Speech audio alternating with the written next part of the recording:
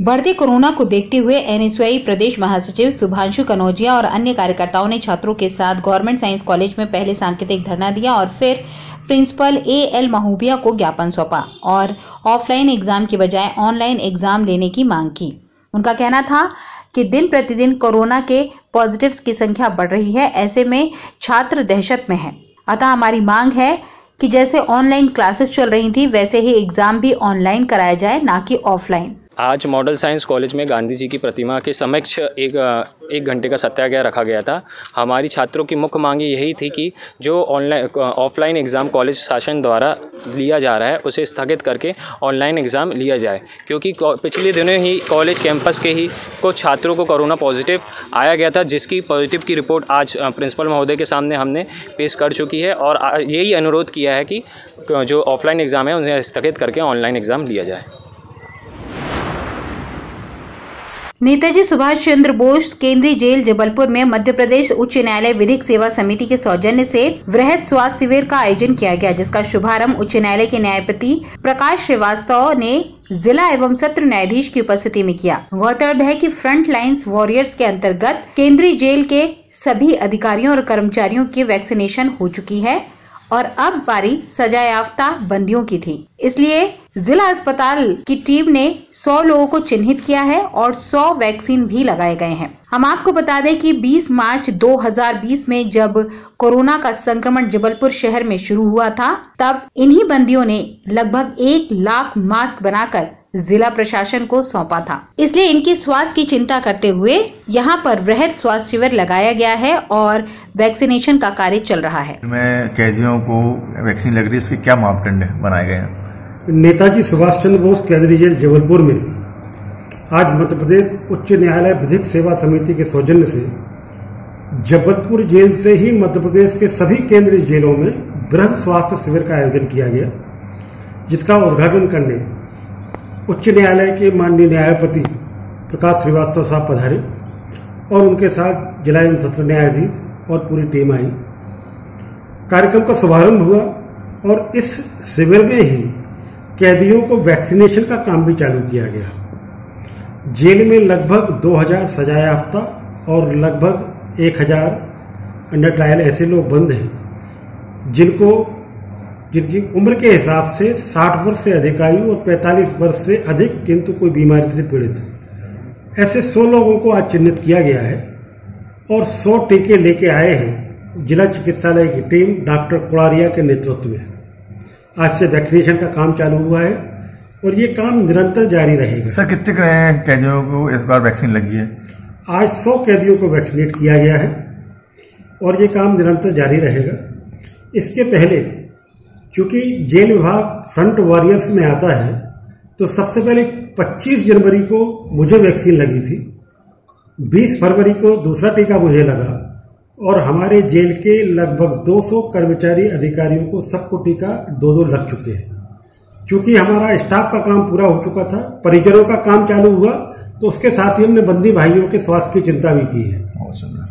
क्योंकि ये भी इंसान है और आपको याद होगा कि 20 मार्च 2020 को जब जबलपुर से ही कोरोना प्रविष्ट हुआ था मध्य प्रदेश में, तब यही कैदी थे जिनने सबसे पहले काटन के मास्क बना के शहर को उपलब्ध कराए थे।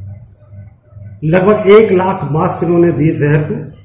तो हमें लगा कि अब हम इनको भी इनकी चिंता करें और आज से शासन की योजना का इनको लाभ मिलना शुरू हुआ है। थाना बेलबाग और क्राइम ब्रांच की संयुक्त टीम ने कार्रवाई करते हुए तहसीली चौक से एक ऑल्टो कार, जिसका number M P twenty C F three nine seven zero है, उससे एक व्यक्ति को दो किलो गांजे के साथ पकड़ा है। पकड़ा गया व्यक्ति गुलजार, ये गांजा कहाँ से लाया, इसके साथ कौन कौन लोग इस कार्य में लिप्त हैं, इस विषय पर पुलिस पूछताछ कर रही है। साथ ही पकड़े गए आरोपी के विरुद्ध एनडीपीएस एक्ट के तहत कार्रवाई करते हुए उसे माननीय न्यायालय के समक्ष पेश कर दिया गया है।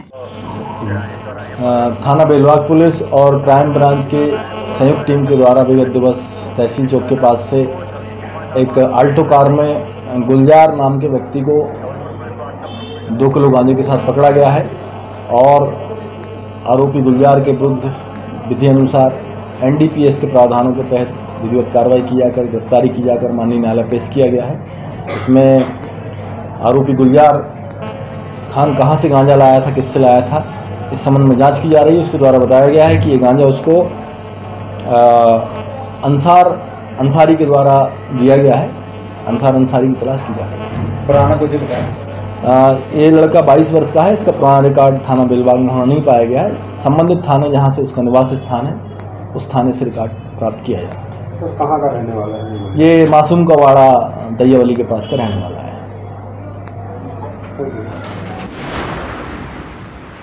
क्राइम ब्रांच और माढ़ोताल थाना पुलिस के द्वारा गांजे की तस्करी में लिप्त महिला सहित तीन आरोपियों को 28 किलो मादक पदार्थ गांजा जिसकी कीमत तीन लाख तीस हज़ार रुपए है इसके साथ रंगे हाथों पकड़ने में सफलता हासिल हुई है। दरअसल मुखबिर से सूचना मिली थी कि एक महिला दो व्यक्तियों के साथ दीनदयाल बस स्टैंड नया पुल के पास खड़ी है, जो कि सफ़ेद रंग के प्लास्टिक के चार थैलों में साड़ियों के अंदर काफ़ी मात्रा में मादक पदार्थ गांजा रखे हुए हैं और उसे बेचने के फिराक में है। सूचना पर दबिश देते हुए पुलिस ने जब इनकी तलाशी ली तो बैगों में साड़ी के अंदर लिपटे हुए पैकेट मिले, जिन्हें खोलकर चेक किया गया तो पैकेट्स में मादक पदार्थ गांजा भरा हुआ था, जो पैकेटों में गांजा था, उसका तौल कराया गया तो 28 किलो गांजा निकला, जिसकी कीमत तीन लाख तीस हज़ार रूपए होना पाया गया। जिसे जब्त करते हुए थाना माढ़ोताल में आरोपियों के विरुद्ध धारा आठ बीस एनडीपीएस एक्ट के तहत कार्रवाई करते हुए उक्त गांजा कहाँ से आया, कैसे प्राप्त किया गया, इस संबंध में पूछताछ की जा रही है। सीमांत पुलिस अधीक्षक महोदय के द्वारा मादक पदार्थ की अवैध परिवहन आदि पर रोक लगाने के लिए निर्देशित किया गया था। उसी तारतम्य में कल क्राइम ब्रांच को एक सूचना मिली कि दीनदयाल बस स्टैंड के पास पास कुछ लोग भारी मात्रा में गांजा लेके मूव कर रहे हैं। उनके द्वारा बताया गया वरिष्ठ अधिकारियों के द्वारा टीम गठित की गई, जिसमें संबंधित जहाँ पे मुखबिर ने स्थान बताया था, बस स्टैंड पुल के पास वहाँ पे पहुँचे तो वहाँ पे जैसा हुलिया बताया गया था, उस हुलिया के तीन लोग मिले। उनसे जब पूछताछ किया गया तो उसमें एक ने अपना सौरभ सोनी नाम बताया, दूसरे ने अंशु उल्फ, उर्फ़ अंशुल चौधरी। उनके साथ एक महिला भी थी। उनके पास वाइट कलर के बैग्स थे, जिसमें साड़ियाँ रखी थी। संदेह हुआ, अपन के द्वारा कार्रवाई की गई। साड़ियों के अंदर प्रॉपर तरीके से गांजे को पैक करके रखा गया था। उसको निकाला गया और वैधानिक कार्रवाई की गई। उनके पास कोई गांजा के संबंध में कोई लाइसेंस नहीं था जिसमें वैधानिक कार्रवाई की गई। कितने किलो गांजा अट्ठाईस किलो गांजा पाया गया।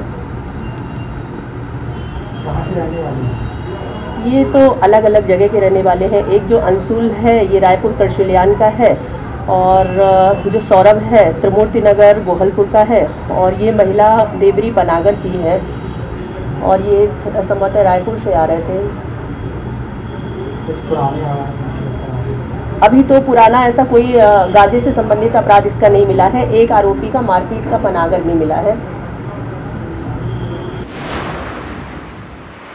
प्रदेश की पूर्ववर्ती कमलनाथ सरकार में विकास का छिंदवाड़ा मॉडल एक ही नारा था। सरकार का पूरा खजाना वहीं खर्च हो रहा था।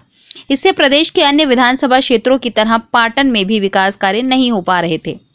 यह आरोप पाटन विधायक अजय विष्णोई ने मंगलवार को प्रेस कॉन्फ्रेंस में लगाए। उन्होंने प्रदेश सरकार के एक वर्ष पूर्ण होने पर पाटन विधानसभा क्षेत्र में हुए विकास कार्यों की जानकारी दी। उन्होंने बताया कि कटंगी में 27 मार्च से टेलीमेडिसिन सुविधा शुरू हो रही है। मुख्यमंत्री शिवराज सिंह चौहान इसका लोकार्पण करेंगे। अजय विश्नोई ने बताया कि प्रदेश में भाजपा की सरकार बनने के बाद तेज़ी से विकास हुआ है। पाटन क्षेत्र में डॉक्टरों की संख्या पाँच से बाईस हो गई है। पाटन में सर्व सुविधा युक्त नया operation theatre, blood storage unit स्थापित की गई है। पाटन में 528 और कटंगी में 1228 पीएम आवास तैयार हो गए हैं। हर घर नर्मदा जल पहुँचाने की योजना अंतिम चरण में है। 50 करोड़ की लागत से सड़कों का निर्माण हो रहा है। इस दौरान शिव पटेल भाजपा संभागीय मीडिया प्रभारी रविंद्र पचौरी भी मौजूद रहे। उन्हें भाजपा सरकार मध्य प्रदेश में आई।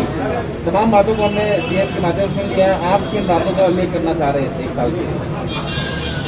कल माननीय मुख्यमंत्री जी ने प्रदेश में जो फ़र्क पड़ा उसको बताया। हमारे जिला ऑफ़िस में, ज़िले में क्या फ़र्क पड़ा उसको बताया। मैंने तो आज आपको बुलाया है, सिर्फ़ हमारे पाटन विधानसभा में क्या फ़र्क पड़ा है, उसकी विकास यात्रा को बताने के जब दोबारा 2018 में मैं चुनाव जीत के विधायक बना, सरकार कांग्रेस की थी, कमलनाथ जी का नारा था, सारा पैसा छिंदवाड़ा के लिए या कांग्रेस के लिए? हमारे लिए कुछ नहीं था। काम रुक गया था। जब दोबारा ये सरकार गई और हमारी सरकार बनी, इस एक साल में हम अपने पाटन को विकास की गति फिर दे पाए हैं। आज की तारीख में उससे बताते हुए खुशी है कि स्वास्थ्य के क्षेत्र में हमने सबसे ज़्यादा प्रगति करी है, जहाँ से पाँच डॉक्टर बचे थे। आज हमारे पास बाईस डॉक्टर हैं। टेली मेडिसिन का सेंटर हम कटंगी के अंदर प्रारंभ करने जा रहे हैं। परसों बोरिया का एक नया अस्पताल वहाँ पर प्रारंभ करने जा रहे हैं। हर एक अस्पताल में हमने डॉक्टर और नर्सों को पहुँचा दिया है। एसी की एंबुलेंस नई खरीद के हमने वहाँ पर दे दी हैं। हमारे को सड़कों के निर्माण के काम, पुलों के निर्माण के काम, तहसील बिल्डिंगों के निर्माण के नाम, हम उसको तेज़ी के साथ पूरा कर पा रहे हैं।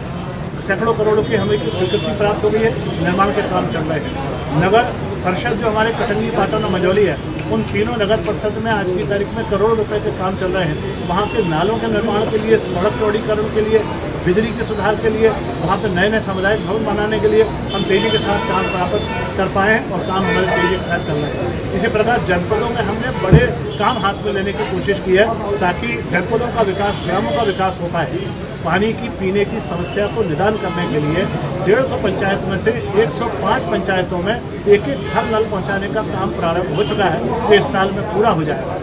एक हज़ार आंगनबाड़ी और प्राइमरी स्कूल जितने भी स्कूल है प्राइमरी से लेकर हायर सेकेंडरी तक, इन स्कूलों की बिल्डिंगों पर टंकी रखवा के नल से शौचालय में भी पानी पहुंचाना और पीने का पानी भी पहुंचाना, इसका काम भी प्रारंभ करवा दिया है। इस साल के अंत तक वो भी पूरा हो जाएगा। और बाकी बचे हुए पूरे जबलपुर ज़िले के जितने गाँव हैं वहाँ तक घर घर नल से पहुँचाने के लिए नर्मदा जल की एक डीपीआर बन के तैयार इस महीने हो जाएगी। अगले महीने उसका टेंडर लगेगा। पूरे जबलपुर ज़िले के 900 गाँवों के एक एक घर को नर्मदा जी का जल प्राप्त हो जाएगा। ये एक साल की छोटी सी गाथा मैंने आपके सामने रखा बेशक आपकी जो विधानसभा है आपने जो खाका दिखाया है। मुख्यमंत्री आवास योजना के तीसरे चरण के अंतर्गत आरक्षक और प्रधान आरक्षक के लिए 20 करोड़ बत्तीस लाख की लागत से कुल 112 आवास गृह बहुमंजिला सिविल लाइन जबलपुर का निर्माण कार्य मध्य प्रदेश पुलिस, आवास और अधोसंरचना विकास निगम द्वारा करवाया जा रहा है। आरक्षक आवास गृहों में एक लिविंग रूम दो bedroom kitchen toilet wash area और बालकनी का प्रावधान किया गया है। प्रत्येक आवास गृह का क्षेत्रफल 66.00 वर्ग मीटर, यानी कि सात सौ दस दशमलव चार शून्य वर्ग फीट है। बाहर के विकास कार्यों में सीमेंट, कंक्रीट सड़क, प्रवेश द्वार sewer line STP landscaping, parking और जल प्रदाय के साथ बाह्य विद्युतीकरण सीसीटीवी कैमरा, चार lift diesel generator fire fighting, fire alarm इत्यादि का प्रावधान है। इन आवास गृहों में नगर निगम से ट्रीटेड वाटर सप्लाई की व्यवस्था होगी। भवनों में अत्याधुनिक तकनीक के साथ अनुमोदित उच्च ब्रांड्स की सामग्री लगवाते हुए गुणवत्ता से निर्माण किया जाएगा। इस सुरक्षित परिसर का निर्माण होने के बाद पुलिस विभाग के आरक्षक और प्रधान आरक्षक के साथ ही अन्य कर्मचारी एक सुरक्षित और सर्व सुविधा युक्त कैंपस में निवास करेंगे, जिससे उनकी कार्यक्षमता में और वृद्धि होगी। निर्माण कार्य के वास्तुविद देव कीर्ति राव, रायपुर और संविदा car Messrs S K B projector, India private limited, Jabalpur हैं। इस अवसर पर विधानसभा क्षेत्र कैंट विधायक अशोक रोहानी के मुख्य आतिथ्य में पुलिस महानिरीक्षक जबलपुर जोन, भगवत सिंह चौहान के विशिष्ट आतिथ्य और पुलिस अधीक्षक जबलपुर सिद्धार्थ बहुगुणा के गरिमा में उपस्थिति में थाना सिविल लाइन के अंतर्गत आरक्षक और प्रधान आरक्षक आवास गृह निर्माण के लिए भूमि पूजन किया गया आज यहाँ सिविल लाइन्स क्षेत्र में जो हमारा पुराना आवासीय परिषद था, इसमें 112 क्वार्टर्स आरक्षकों के लिए, प्रधान आरक्षकों के लिए आठ स्टोरी में ये भवन तैयार किया जाएगा। और ये बड़े खुशी की बात है, हमारे पुलिस विभाग के कर्मचारियों के लिए बड़ी खुशी की बात है कि सिविल लाइन्स जो कि जबलपुर का हृदय स्थल है, और बहुत ही कॉस्टली एरिया है और हर तरीके से सुविधा संपन्न है। रेलवे स्टेशन वॉकिंग डिस्टेंस पे है। हॉस्पिटल सारे इम्पोर्टेंट जो है दो तीन हॉस्पिटल यहाँ पर एलगिन हो, चाहे विक्टोरिया हो, चाहे रेलवे हॉस्पिटल हो, सब नज़दीक में लगे हुए हैं। तो ऐसी लोकेशन में, ऐसी सिचुएशन में 112 क्वार्टर हमारे आरक्षकों को मिलना निश्चित रूप से ही बहुत गौरव की बात है। और इसके लिए मध्य प्रदेश शासन Madhya Pradesh police housing board और हमारे क्षेत्र के जो विधायक अशोक ईश्वरदास रोहाणी जी हैं, उनके प्रयासों से ये संपन्न होने जा रहा है। तो हम सब धन्यवाद ज्ञापित करते हैं। बहुत समय से यह कार्य लंबित था और आज उसका भूमि पूजन, आईजी महोदय, एसपी महोदय के नेतृत्व में हम सबने किया है। मैं इस बात को मानता हूँ कि जो हमारी सुरक्षा के लिए हमेशा तैनात रहते हैं दिन रात परिश्रम करते हैं, अपनी जान की परवाह किए बिना। उनके परिवार वाले बहुत अच्छे से रहें। इस भाव को लेकर माननीय मुख्यमंत्री जी ने पूरे प्रदेश में इस योजना को चालू किया कि उनके भवन अच्छे बने, वो अच्छे से जीवन यापन रखें, करें और अच्छे घरों में रहें। इस भाव को लेकर माननीय मुख्यमंत्री जी ने यह योजना पुलिस हाउसिंग बोर्ड के द्वारा प्रारंभ की और उसका शुभारंभ आज हम यहाँ पर सिविल लाइन जैसे अच्छे एरिए में इनको एक अच्छा मकान मिलेगा। इस बात की हमें खुशी है। मैं बहुत बहुत शुभकामनाएँ देता हूँ, आभार व्यक्त करता हूँ माननीय मुख्यमंत्री जी का। और यह जो बिल्डिंग बनेगी, यह हमारे उन युवा आरक्षकों के लिए और आरक्षकों के लिए समर्पित करता हूँ। मेरा मास्क मेरी सुरक्षा अभियान के तहत Shri Ram environment social service association के द्वारा मंगलवार की शाम सात बजे छोटी लाइन गोरखपुर में जन जागरूकता करते हुए मास्क का वितरण किया गया। साथ ही लोगों को समझाइश भी दी गई कि बिना मास्क के घर से बाहर ना निकलें। इस दौरान एक चीज़ और सामने आई, जहाँ पर नगर निगम के सफ़ाई कर्मी बिना मास्क और बिना ग्लव्स के नज़र आए। जब उनसे इस विषय पर बातचीत की गई तो उनका ये कहना था कि हमें कोई मास्क और ग्लव्स नहीं दिया जाता। जब इसके बारे में सुपरवाइजर से बात करनी चाही गई तो उसने ठेकेदार कंपनी को जिम्मेवार बताया। जब ठेकेदार से हमने बात करना चाहा तो वो कैमरे के सामने आने से बचता रहा। इन सफ़ाई कर्मियों से हमने कड़ाई से जब पूछताछ की कि बिना मास्क के और बिना ग्लव्स के कैसे सफ़ाई करते हो तो इनका जवाब भी गोलमोल सा नज़र आया। बहरहाल, जहाँ नगर निगम स्वच्छता के लिए दिन रात एक कर रहा है, वहीं उनके सुपरवाइजर और जिस कंपनी को सफ़ाई का ठेका दिया गया है, वो अपने कर्मियों के साथ किस प्रकार का व्यवहार कर रही है, ये सोचने वाला विषय है। फ़िलहाल, संस्था ने इन सफ़ाई कर्मियों को मास्क वितरित कर समझाइश दी कि बिना मास्क के घर से बाहर ना निकलें, क्योंकि आपकी खुद की सुरक्षा पहले ज़रूरी है, और साथ ही साथ आपकी खुद की सुरक्षा के बाद दूसरों की सुरक्षा के लिए भी आपका मास्क पहनना बहुत ज़रूरी है। इस कार्यक्रम में संस्था के अध्यक्ष सिमरन सिंह शुक्ला, कोषा अध्यक्ष अमित शुक्ला, सदस्य ममता राय और धनगर समाज के अनिल धनगर एवं महावर जी उपस्थित रहे, जिन्होंने सभी को जागरूक किया और मास्क वितरित कर शपथ दिलाई कि बिना मास्क के घर से बाहर नहीं निकलेंगे। हाँ बताइए। मेरा नाम नमामि शंकर महावर है।